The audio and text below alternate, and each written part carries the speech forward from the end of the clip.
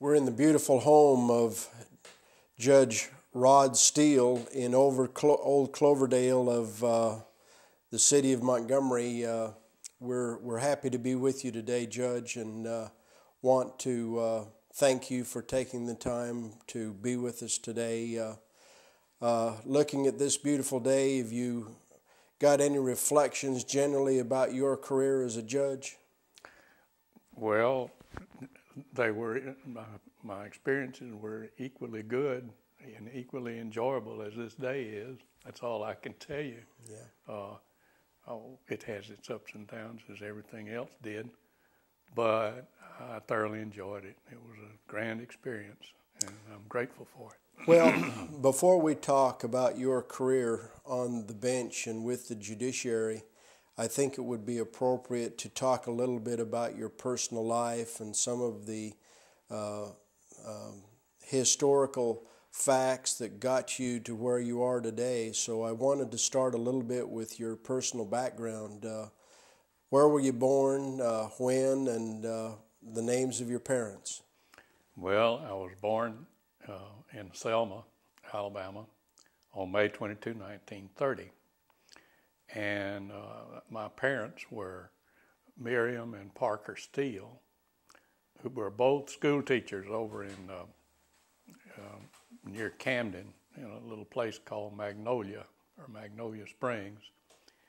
And uh, so my mother was was delivered up to Selma, and my father went back and forth from Selma to Camden and near Camden until I was uh, delivered.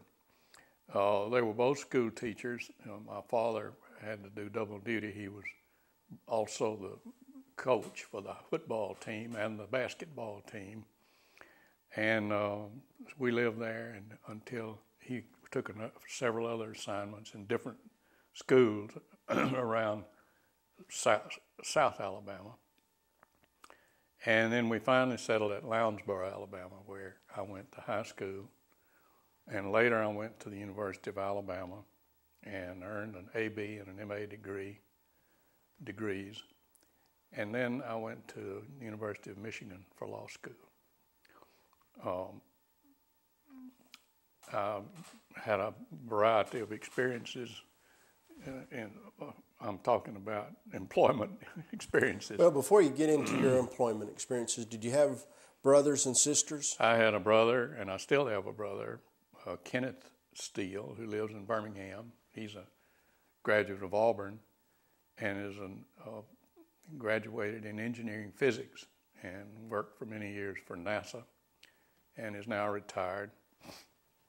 I have, I, I married Frances Blair Steele, Frances Blair, Frances Marion Blair, and uh, we have three children Marion, Claudia, and Parker. And Parker and Claudia are now parents, or will soon be parents, and they live. Parker lives in Birmingham, works for Regions Bank, and Claudia lives in Harvest, Alabama, near Huntsville, and she was a school teacher until her child came. I see. Now, where did you go to high school? Where did you Where did you uh, go to your grade school and high school? Well, I started the grade school in Ariton, Alabama, and uh, moved to Cottonwood, Alabama, and then my father was assigned as a principal um, at, at, Cottonwood, and I went th- there. And then um, I, I, later went to Lowndesboro Elementary School um, when it was still a public school, and uh, finished there, and then went to Hayneville High School, which is right down the road. Is that now a, a private school? That the uh, Lowndes, Lowndes Academy. Lowndes Academy. Mm-hmm. Uh, but it had three grades: first and second, third and fourth, fifth and sixth when I went to school there. What's your first recollection as a youth? Uh, gosh, I don't know. Uh, what is a favorite recollection that you had back in the days of either primary or secondary school? Well, uh, I guess the one of my recollections was was uh, at Lowndesboro School, and uh, my favorite girl was a, a, young lady named Ann Collins who lived just up the road from us. And uh, I really had a crush on her in the fourth grade or fifth grade. But she was the most tempestuous child I ever saw in my life, and she would stand in the middle of the room and stamp her feet and make all kinds of noises. Um, but she married an engineer from Auburn and moved to Florida, so I lost track of her. But I, I remember that well, how how tempestuous she was. Um, back uh, then, did you have any visions of being a lawyer or a judge? No, no, none at all. I didn't. I probably thought that I would be a teacher, which is what my mother and father were. Did you have any conscious designs as to what you would do later in life other than perhaps teaching?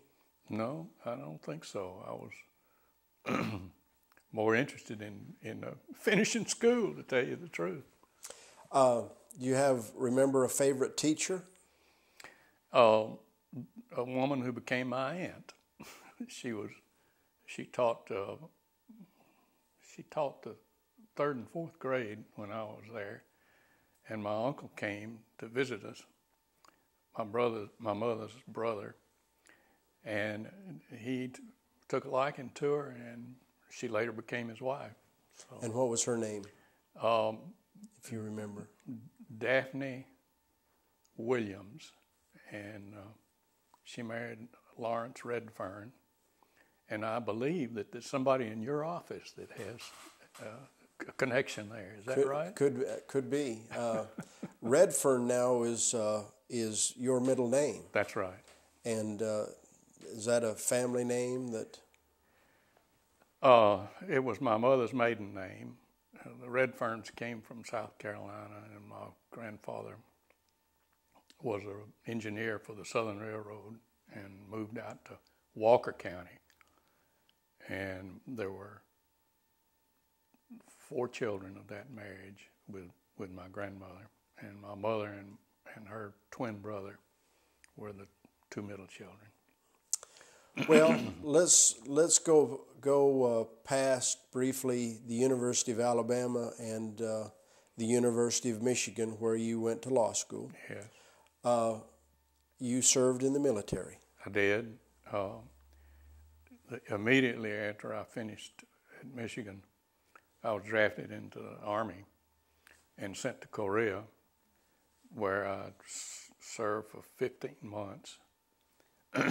and when I got there, um, they didn't know, quite know what to do with me, so they shot me around to a lot of different places. And uh, they finally sent me to the AG at, at Army headquarters there in Seoul and uh, the colonel said, How do you like the Army, soldier? And I said, I don't like it too much, sir, uh, which was the wrong answer. and uh, he told the sergeant to send me to the line.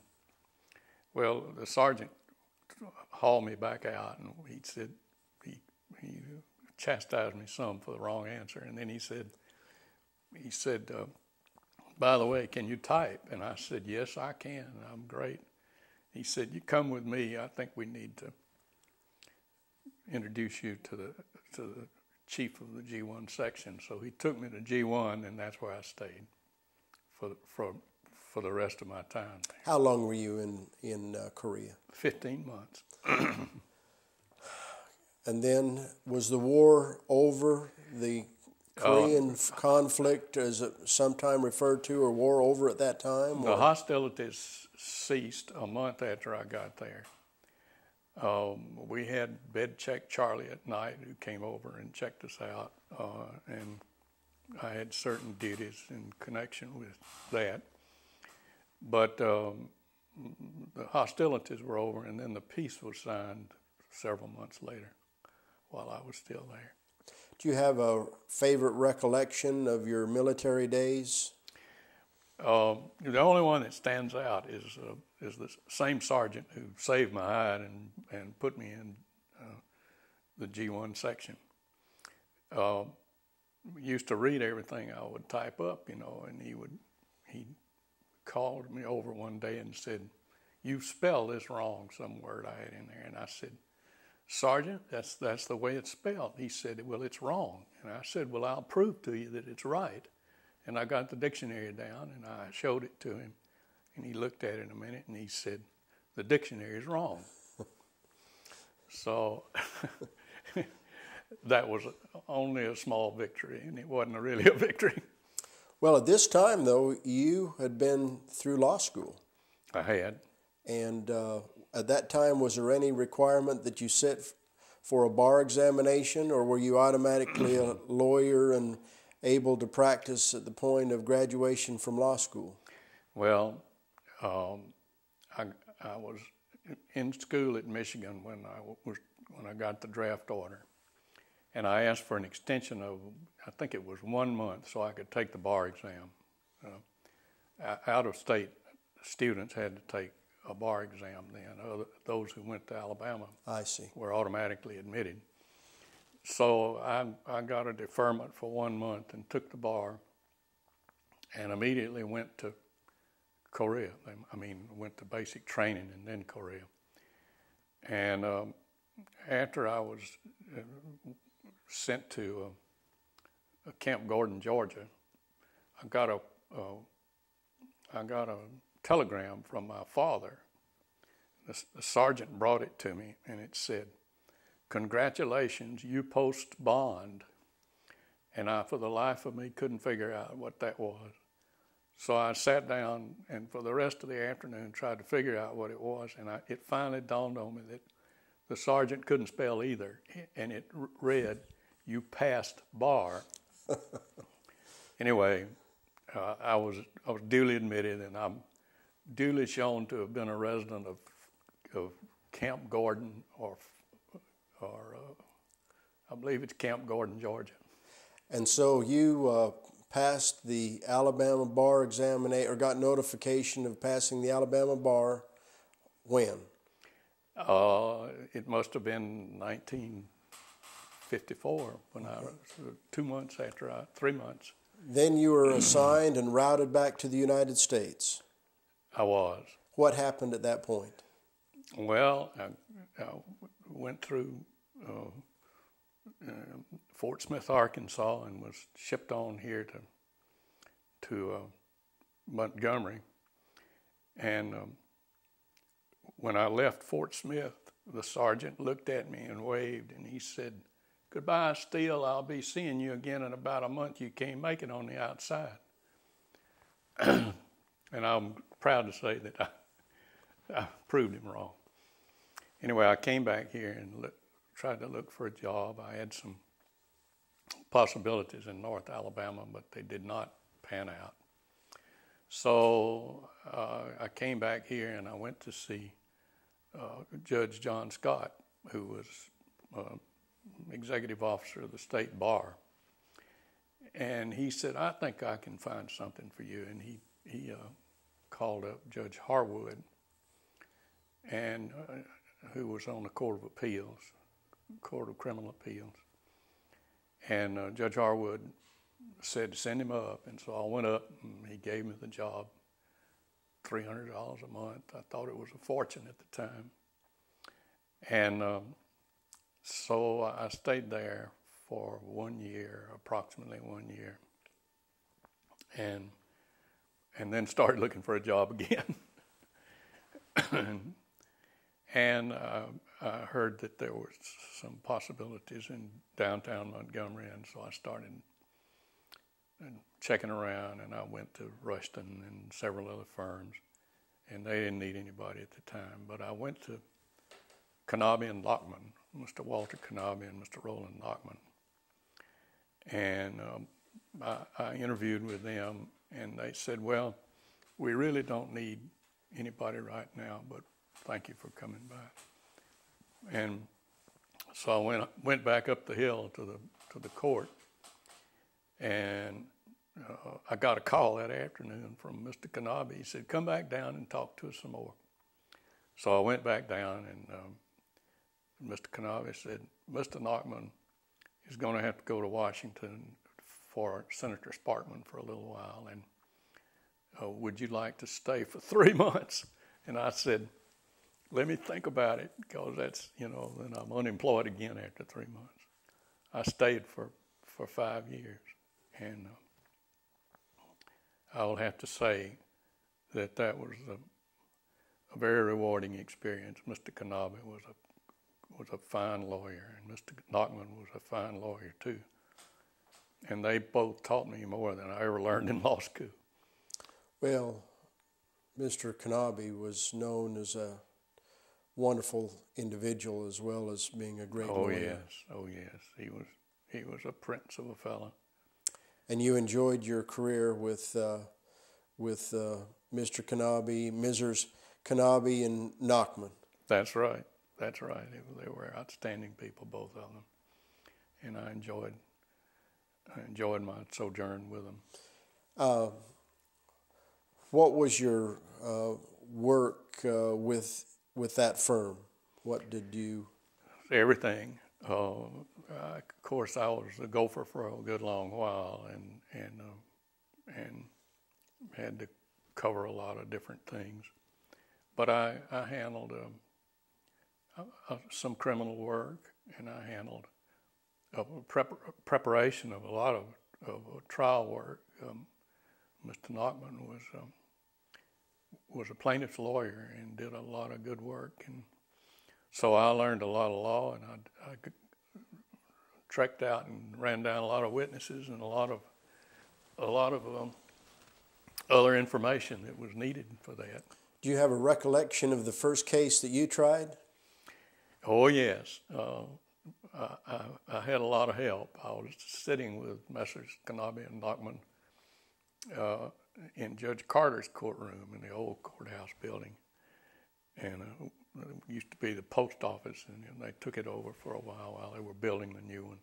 Is that where the uh, the tax uh, assessing office is today? That's right there adjacent to not the new courthouse, but the one I guess it was built in the mid 40s or 50s. It was on Dexter Avenue uh, on the on the south side, and it I think it was where the People's Bank and Trust used to be. I don't know what what that bank is called now, but it's uh, it building is no longer standing. No longer there. Okay. That's right.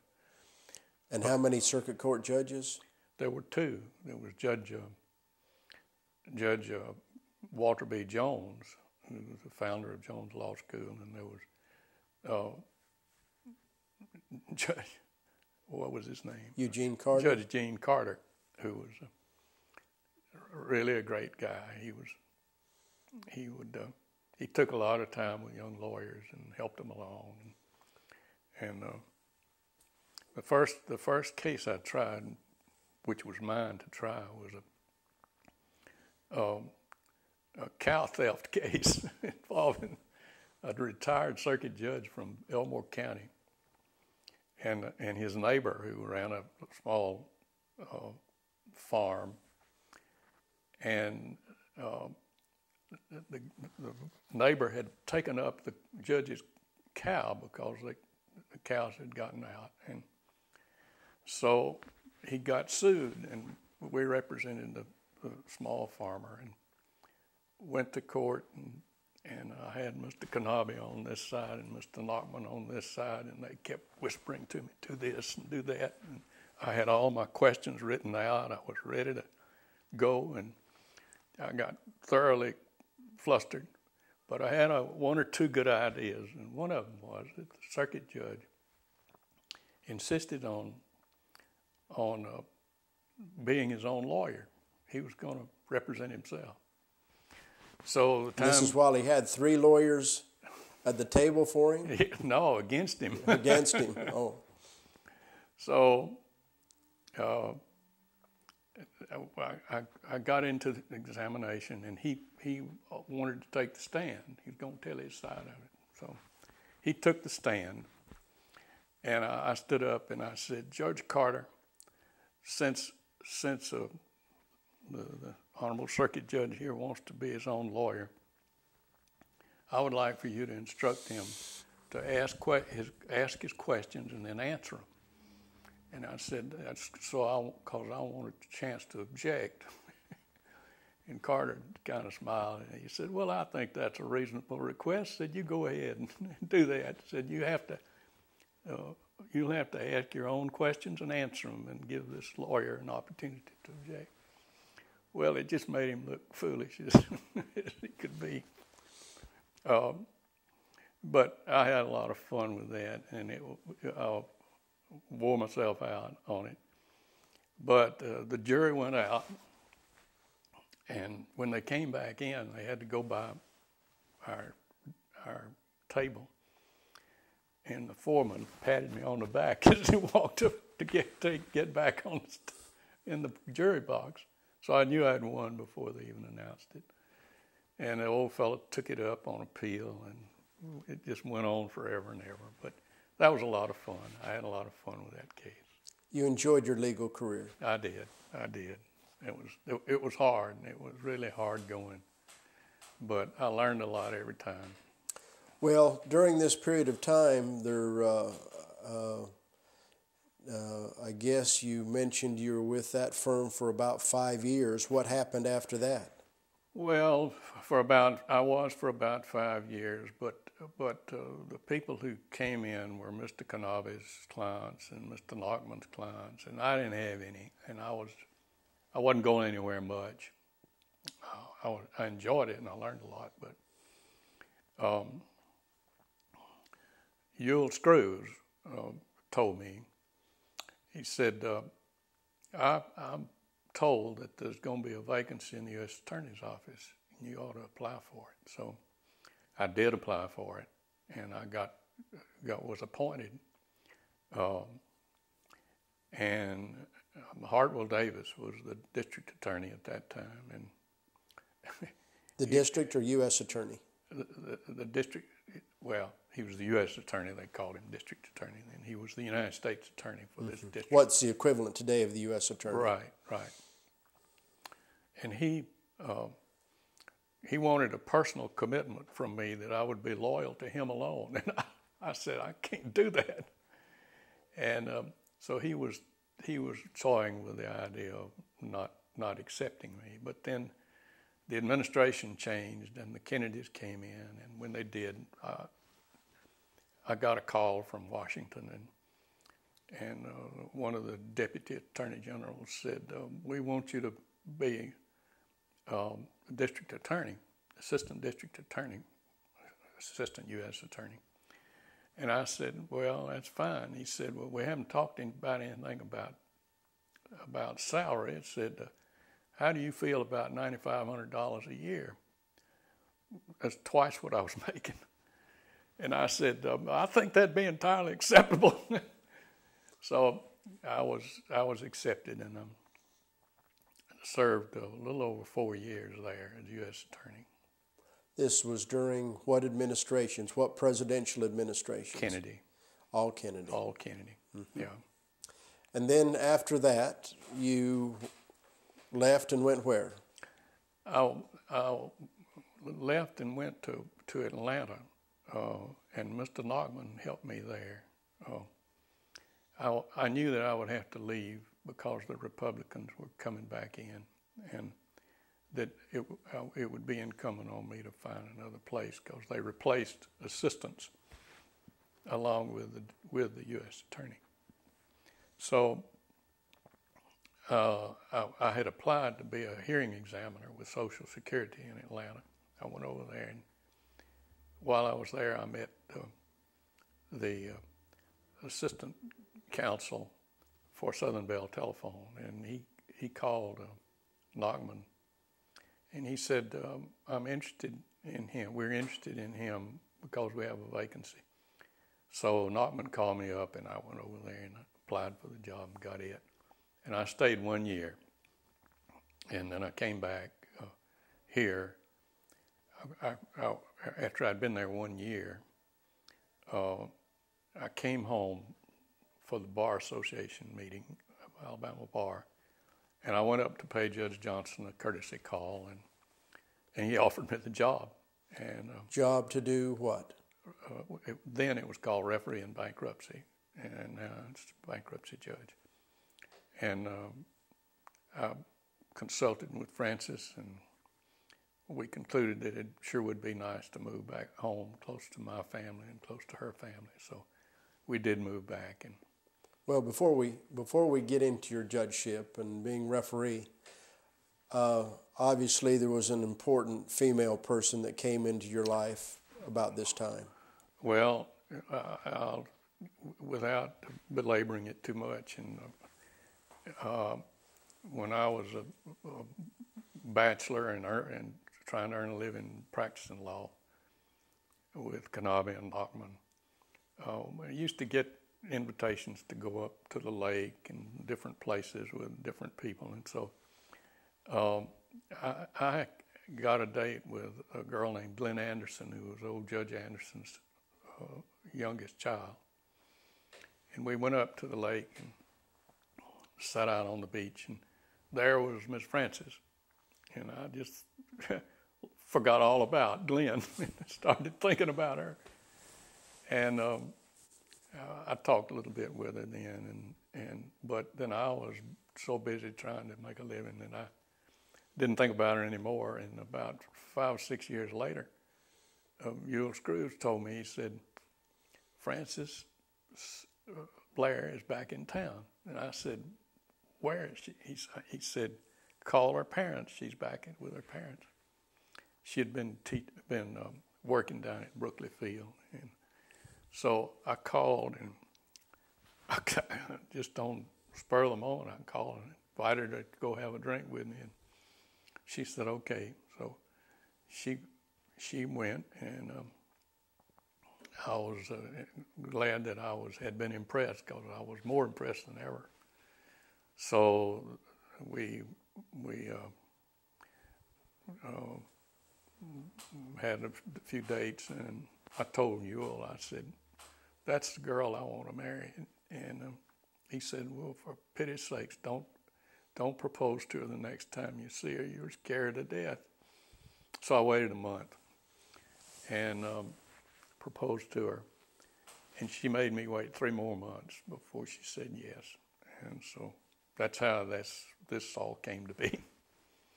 And a wonderful union and relationship yes, since. Absolutely, absolutely. You were married when? Uh, About what year?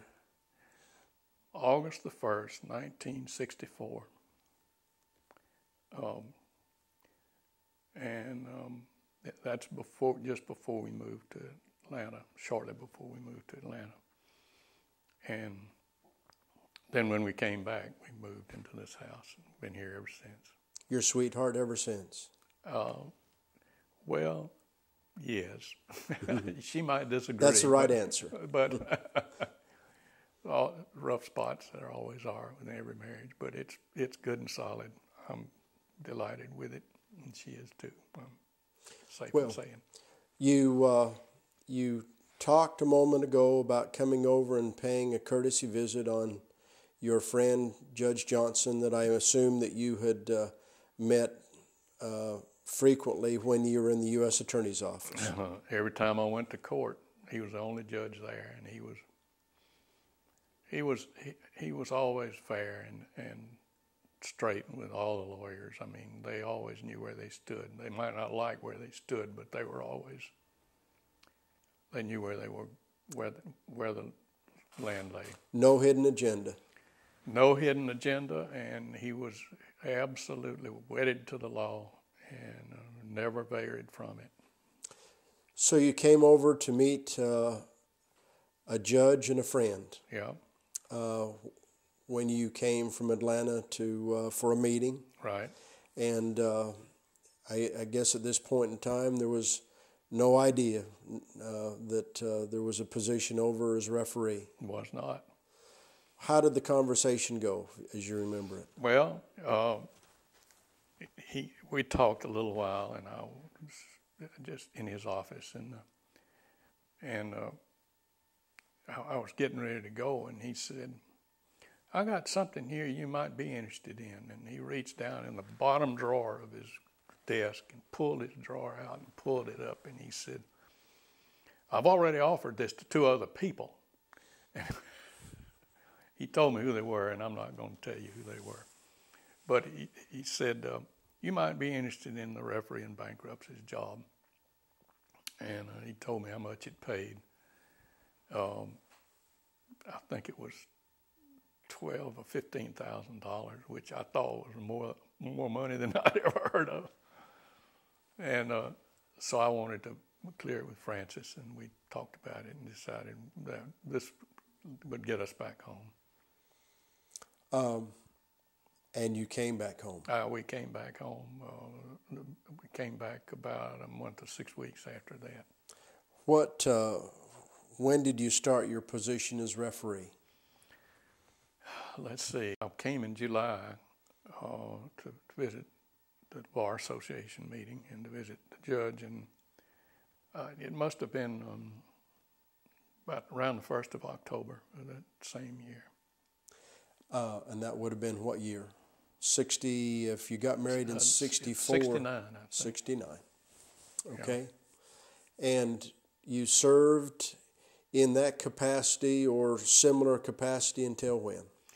Until uh, October the 1st, October the 20th of 1999. Okay. And retired at that point? I did. After, and that's how many years?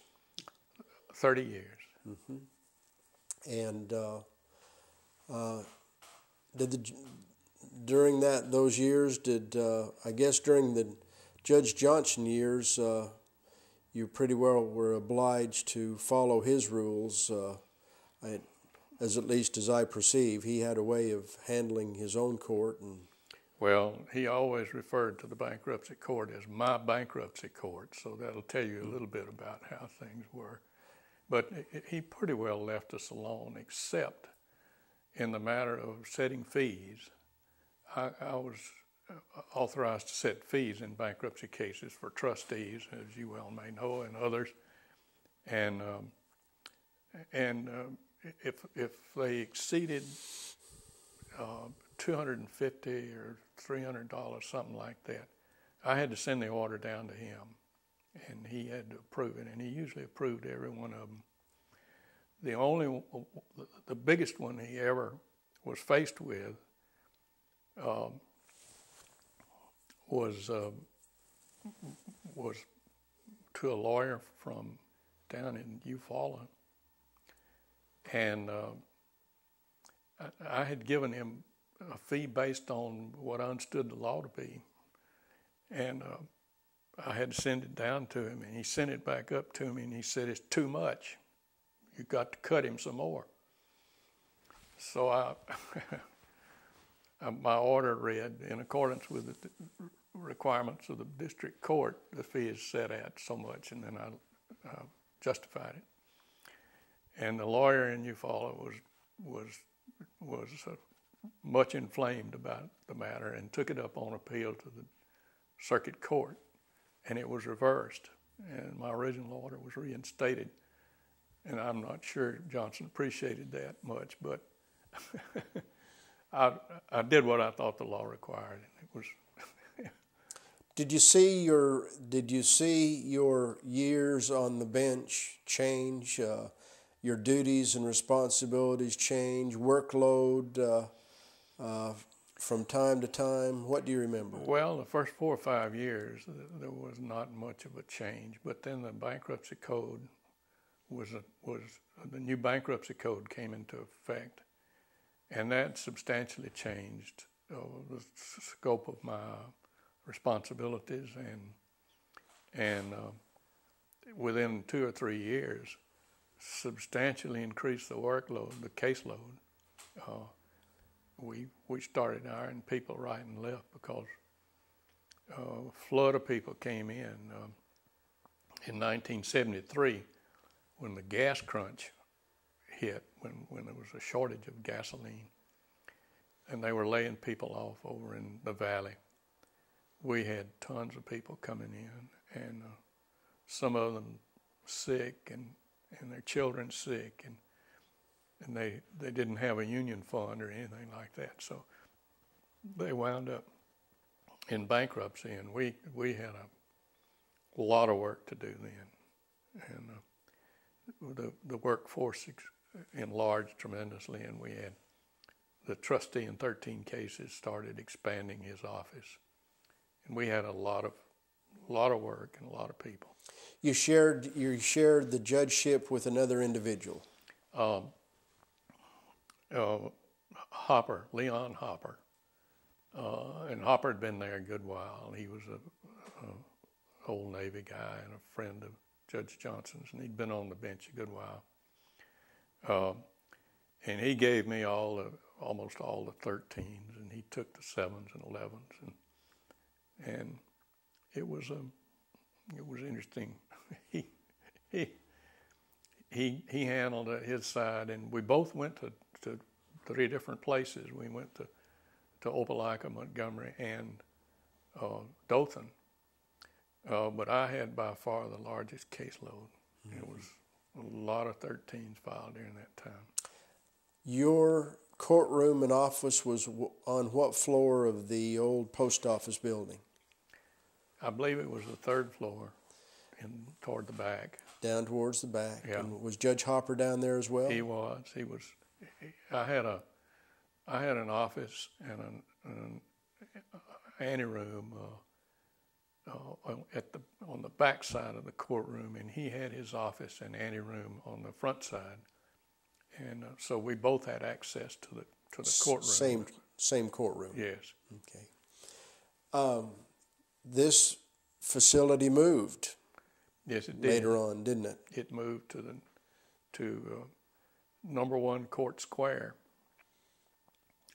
uh, and I can't recall the date when that occurred, but uh, we moved into what had been the Pizitz department store building, and um, people used to ask me where it was, and I said we're in Men and Boys Furnishings. You can come around to the first floor, and you'll find us. But it was a great, spacious area, and and I I had the fun of designing it. I, I, I did it with Hopper, but I did mainly designed it with a big courtroom and and a clerk's office on one side and all of our offices on the other. So worked out very nicely. much more spacious than oh, yes. the accommodations across the street. And much nicer. We we had uh, we had a mahogany bench, uh, and we had church pews, which were of nice oak, and a rug on the floor. It was very nice.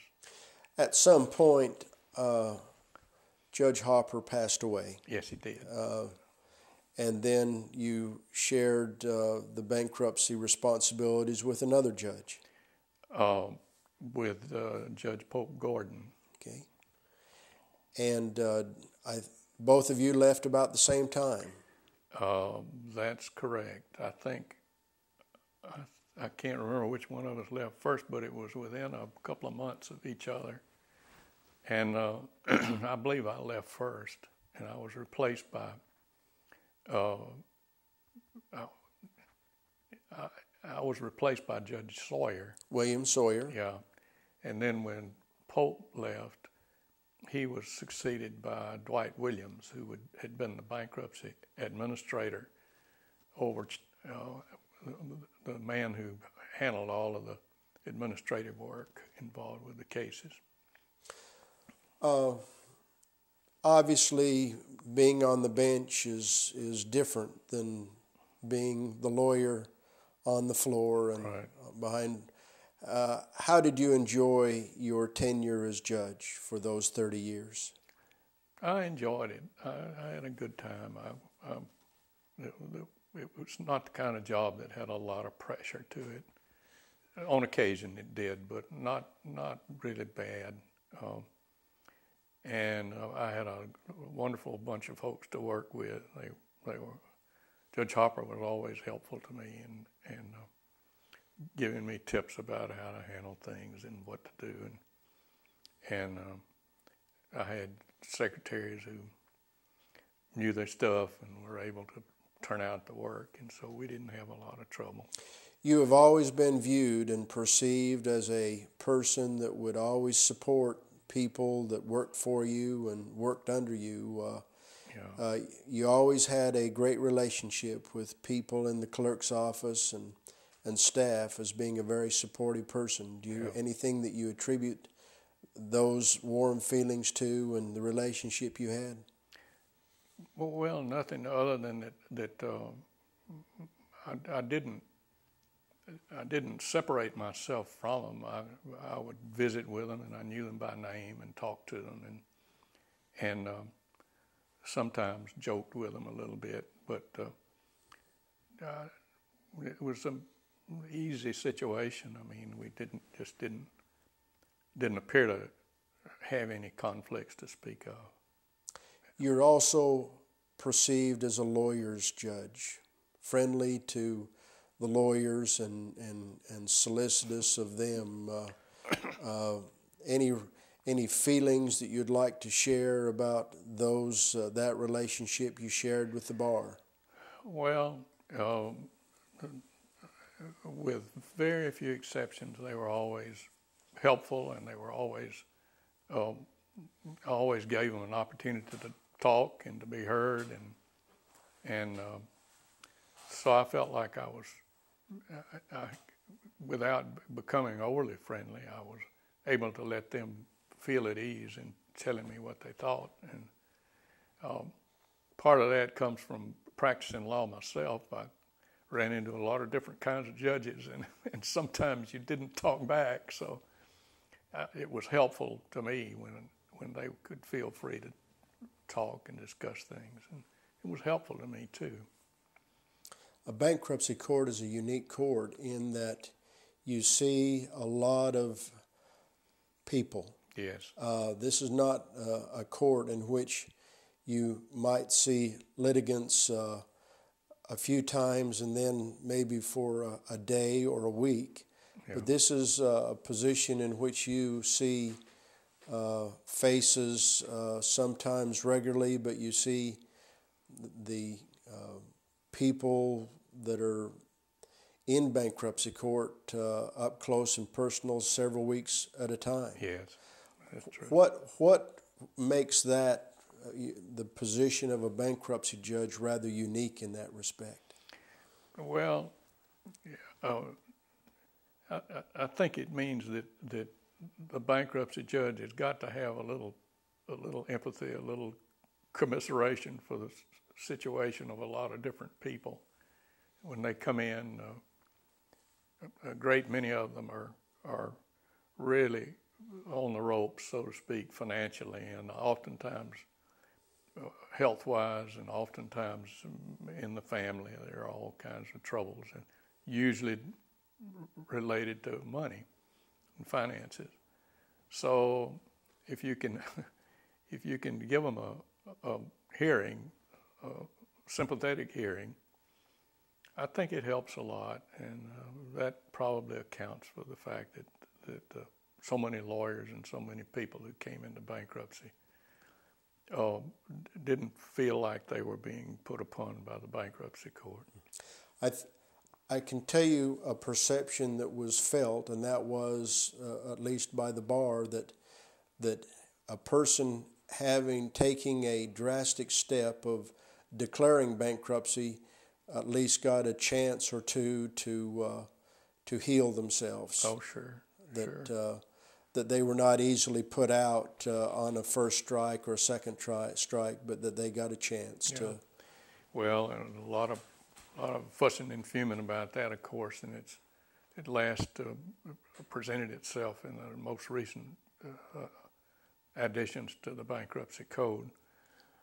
But uh, uh, and there were some abuses. You know, there were people who came in more than once before they had to and filed 13 and stayed in 13. There was one one famous uh, client who came in on a regular basis uh, about nine straight times, I think, and he would pay a while, and then th- that, fortunately that was Judge Judge Hopper's client, Judge Judge Hopper's case, not mine. But but by and large, they were they were people in desperate circumstances, and and uh, it wasn't the case when I left.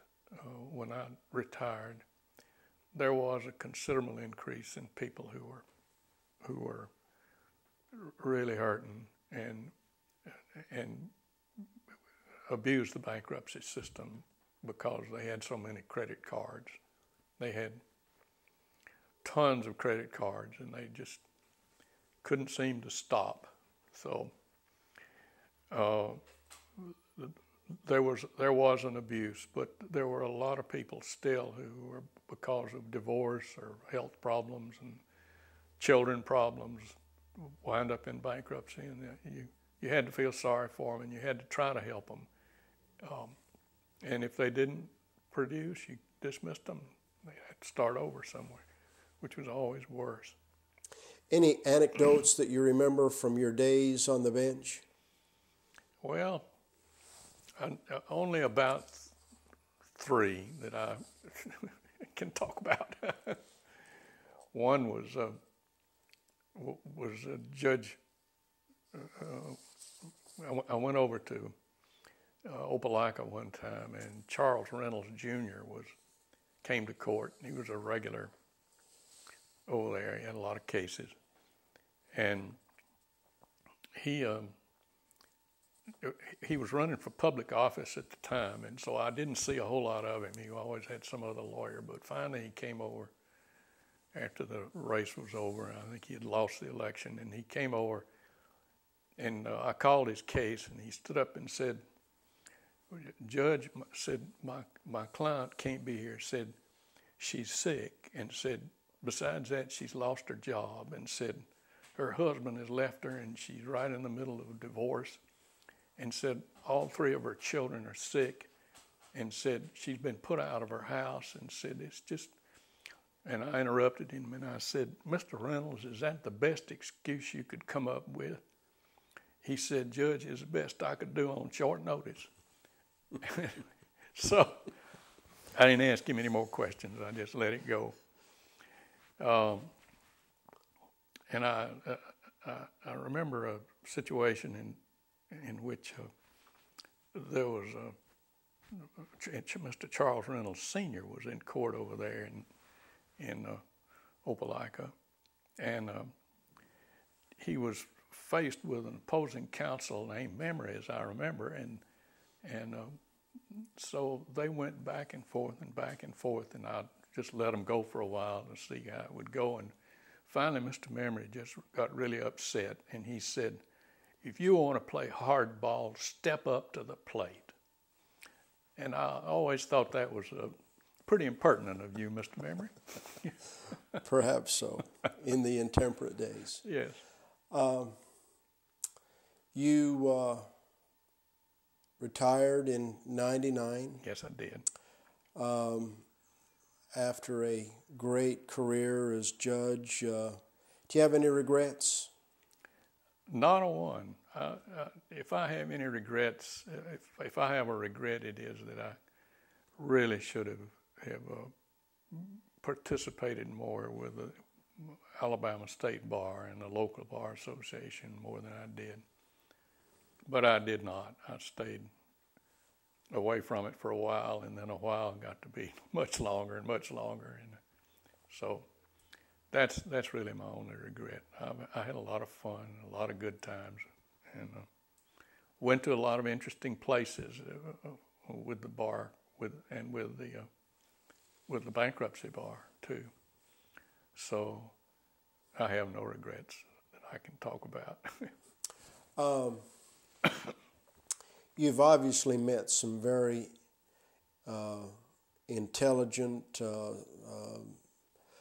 good, uh, hardworking people through life. Uh, any of those folks that uh, uh, you would consider mentors that you can remember and mention some of the lessons that you might have learned in life from them? Well, of course, I've mentioned to you uh, Mr. Knabe, uh, who was a great mentor and a, an outstanding lawyer. And the only time he, he, he got upset with me, and I was upset with myself, was when I missed a, a filing deadline in the Supreme Court. And uh, I didn't miss the deadline. I filed it in the Supreme Court, but the rule at the time said that you must, in addition, timely uh, serve opposing counsel with a copy of the brief. And I got the brief in, but I f- failed to to deliver the the uh, copy of the brief to opposing counsel. And about three days went by, and the time ran, and I discovered it and tried to serve it, and the, the opposing counsel took it, but he said, "I'm going to have to move to dismiss your case." Well, that was a, quite a blow, and I told Mr. Knabe, and I, I fully expected him to fire me, but he didn't. He kept kept me on, and uh, and I have always been grateful to him for that. And then um, Yule Screws has been a longtime friend of mine, and and um, he's always been a good good mentor. He's always been able to cast light upon another kind of light upon anything that might come up. So those two I know especially are important. And then Judge Johnson was quite a mentor himself. He he insisted on on um, discipline. Uh, and he he checked on the people that were under him all the time. You had to be on your toes, and so I, I learned a little bit about punctuality and and uh, the line from him. Can't think of others right off in the profession. That, but obviously others unnamed. Oh gosh, uh, unbelievable number of them. Mostly of the lawyers who taught me a whole lot. During the five years, going on six years that you've been away from the judgeship, yeah. any lessons that you've learned during that period? Uh, I had a hard time at first after I left because I couldn't seem to find a schedule that would fit. And I almost drove Frances out of the house with worrying about what to do next. But but uh, I, I got over it, and I've had a good time. I've I have enjoyed uh, growing roses out front and doing a little photography work and and um, I, I, got a computer shortly after I retired and I've learned to use it to offer all kinds of things. So I've kept myself busy, and Frances and I have taken a few trips and, and had some fun that way, and we're going to take some more. What are your hobbies?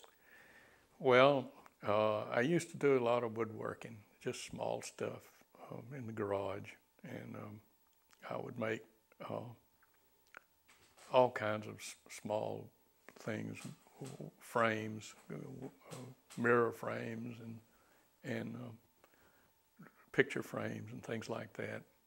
And uh, it just got to the point where I couldn't. It wasn't wasn't suitable out there, and I haven't been interested in it anymore.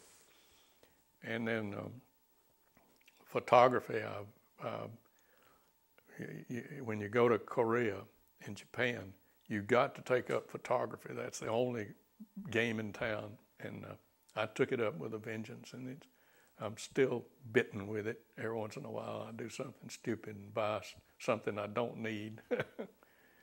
uh, but I, I, have grown roses for, for I guess, 30 years before I met Frances. Really, I used to grow them in pots which is called intensive agriculture in other places.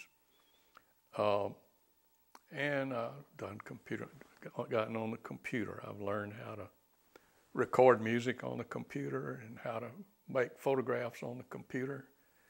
And uh, so I have a lot of fun doing that. You also enjoy reading?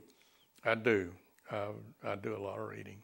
Um, and I'm grateful for that because I sometimes I didn't have a lot of time when I was when I was working. What are some of the uh, books that you enjoy? Well, I'm, I'm, I'm, reading one now that I do thoroughly enjoy called The Reformation, which is the story of the, the history of the rebellion against the Catholic Church and Luther and Zwingli and all of those. And, um, and it's uh, that, has been very enlightening and, and very helpful. and then uh, I read last year a book called The Scots Irish, which is by a professor who traced the history of the immigration of the Scots Irish from Belfast and uh, Northern Ireland to the United States, and that's a very enlightening history. Uh, my, my father's people, I guess my mother's people too, both sets of families came to South Carolina. But my mother wrote a book of genealogy on her on my father's family, and they came to Charleston in 1768. She traced them back to their to where they come into the country from Belfast. And um, so I, have enjoyed reading uh, some of the history of why they came and what they what what they had to put up with and, and how they settled in the back country of Carolina and prospered. There's a quote Seek out of the best books words of wisdom. Is there anything that uh, you have gained from your reading that you would consider wise or learned that uh, that you'd want to share? Well, uh, I'll just go back to those same two books. The first book um, is is pretty clear indication that all of the religious battles in the United States right now were fought out beginning in 1517 when Luther tacked up the 95 Theses and they they haven't changed a bit. The personalities have changed some, but they're all the same. So you, you, shouldn't get all bent out of shape by the fact that the religious wars are going on with the same issues. Um, and the other thing which I can uh, deduce from the Scots reading about the Scots Irish is that that uh, the Scots Irish left uh, Scotland and, uh, and Northern Ireland, they were all, quote, Protestant refugees who came to the United States to get away from, from uh, the king and the parliament because they were trying to tell the Presbyterians how they should how they should worship and what they should think about matters religious. And we here they are over here 150 or 200 years later, waging the same war, not, not against the king, but we're fighting the same war involving the religious right and all of the people in Virginia and South Carolina who are insisting that our government needs to take the place of the king and parliament and tell people what to think and how to live. So if those are words of wisdom, those are those are words of wisdom. Uh, you at one point uh, um, enjoyed music and plays. I did. A forgotten chapter in my life. Um, I was in Blackfriars at the University of Alabama, and we I was in a lot of plays, and we had a lot of fun. And um, then later on, when I came to Montgomery, I, I joined the Montgomery Little Theater and I had bit parts in a lot of plays and enjoyed that. And uh, at one point, I, um, I went with the, the Montgomery Theater Guild, I think it was, and they had one play after which they folded. But um, I, I broke away from that. It took too much time from from my work, and so I. But I enjoyed it. Had a good time, and, and we we put on a lot of plays. Enjoyed those days. Yeah, I did. I did. Going back a little bit to your youth and at home with your parents. Uh, do you remember any lessons that you were taught as a child that has been valuable to you in your life?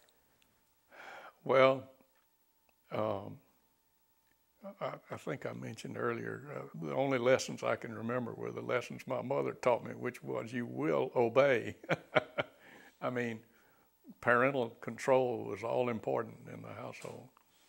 And I, the, lesson I, I learned from that is not to be too harsh on your children. You, you can you can get maintain control on them without being that tough on them. And the other one is that that uh, uh, they always insisted on the truth, telling the truth, and we we followed that pretty pretty closely. What? Judge, we just uh, talked about some of the lessons that you uh, learned as a child. How would you like to be remembered by your wife and children?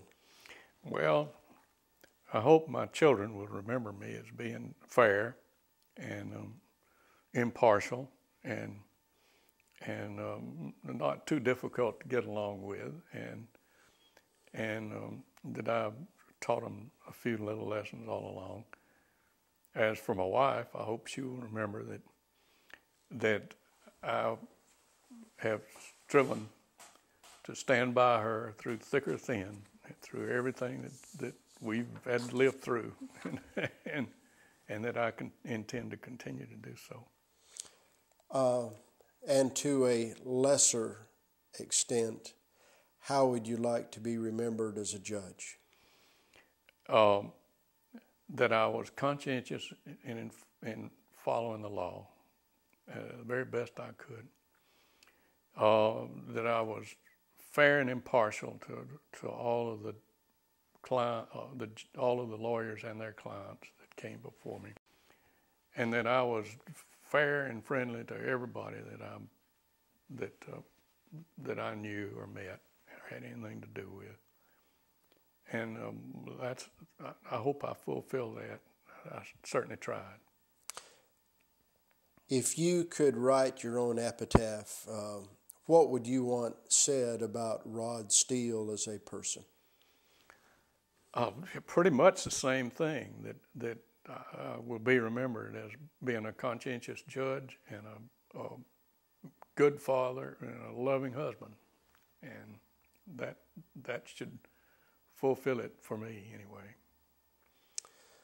Well, today has been a gorgeous day, fall day on the outside where uh, I am personally honored to be in your home to uh, participate in, in this presentation that will be preserved and has been endowed by the 11th Circuit. We, uh, I think everyone that will listen uh, are appreciative of the legacy that you have left as a, first of all, a person, and second of all, as a jurist that uh, all of us have enjoyed. And it's uh, great to see you again and to be in your home uh, uh today. Well, thank you. This, it, it, it is an honor to me to have the 11th Circuit uh, to memorialize my life and my work, and I I appreciate that.